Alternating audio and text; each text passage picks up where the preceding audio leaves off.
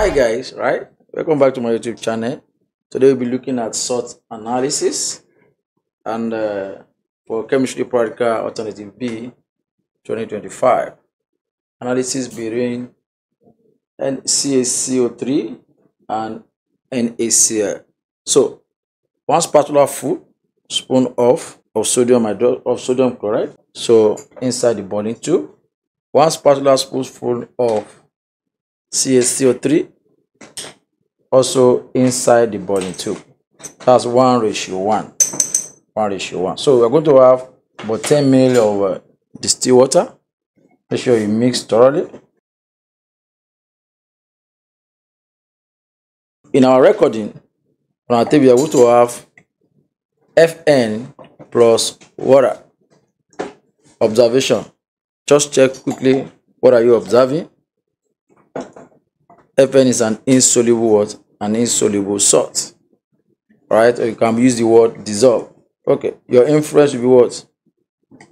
It's an insoluble salt. Alright. Quickly, we might be asked to test the mixture with litmus paper. Of course, we have two type of litmus paper. Both blue and red litmus paper. You can damp it. Test the litmus paper. You can see there's no reaction with both blue and red litmus paper. So under observation, there's no reaction with both blue. Under your inference, is a neutral salt. Is a neutral salt. Alright, you can see. Alright, this is an insoluble salt. You can be asked to filter since an insoluble salt. Sodium chloride is soluble, carbonate is not soluble. So let's quickly filter. Let's filter. So let's filter. Shake thoroughly. Then pour. So you wait for a while. You allow the filtrate to go down quickly when you are left with what?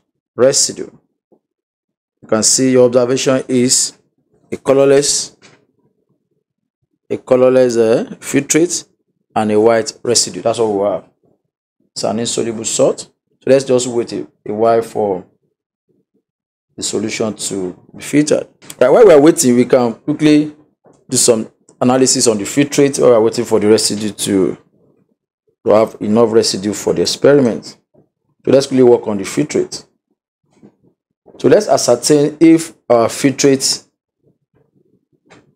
is also acidic or basic. Let's use another litmus paper, a little portion of the filtrate so that we can have our filtrate tested. So let's check out our reaction with the filtrate. As you can see, both blue and red paper, there's no reaction. So it's a neutral solution. A portion of the filtrate now plus HNO3. Let's take a portion of the filtrate. We have our filtrate now. Let's take a portion of the filtrate and test with HNO3. You can see it. This is what white precipitate form. Okay, white precipitate form. If I precipitate form, what is present? Of course, we have a, a chlorine, chloride ion present. So let's test with HNO3. Let's add HNO3 to the solution. Of course, the precipitate also remain. There will be no reaction. But on addition of ammonia, when you add ammonia, what are we expecting? We're expecting the solution supposed to dissolve. Okay, let's wait for it. You see this solution dissolving. Let's add more. Let's say excess of ammonia so that we can see the precipitate. The precipitate dissolving. Let's check it out. Check it out. By the time you see, see it's dissolving. Good. So this one show the presence of what? Of chloride ion. Chloride ion, presence of chloride ion. Can keep that. There's another format they can ask you to test for chloride ion. They can ask you to start with HN, HNO3 first. Let's start with that. Let's see the reaction. HNO3 followed by AgNO3 followed by ammonia. Let's do that. Just follow me. You see every of the writings on the table. It's HNO3. Can you see there's no reaction? There will be no feasible reaction with HNO3. But on adding AgNO3. Let's see, you're going to have a white precipitate. Uh. You can see your white precipitate. Can you see it? Can you see your white precipitate? Can you see it? So on adding our ammonia, on adding our ammonia, let's see what kind of reaction we're expecting. Dissolve, the precipitate dissolve with ammonia. Let's add excess ammonia. The precipitate dissolves. So ammonia dissolve the precipitate. So just check the table, you will see your observation at the same time the inference. That's the chloride ion coming out from what? From the filtrate. So sample of residue. I see my residue there. Let's take a sample. Plus sodium hydroxide. A white chalky precipitate. This is what we call white chalky precipitate. In essence, precipitate remains what insoluble. Please check out. Check out. This shows the presence of what? Of calcium. Alright. Let's pick another sample. Testing with ammonia this time around. Ammonia solution. Okay, ammonia solution now. Let's see.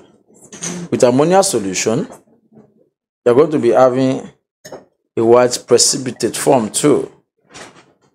A white precipitate form. Presence of Let's take another portion of the residue. Let's test with H2SO4. Let's see if we have any reaction with H2SO4.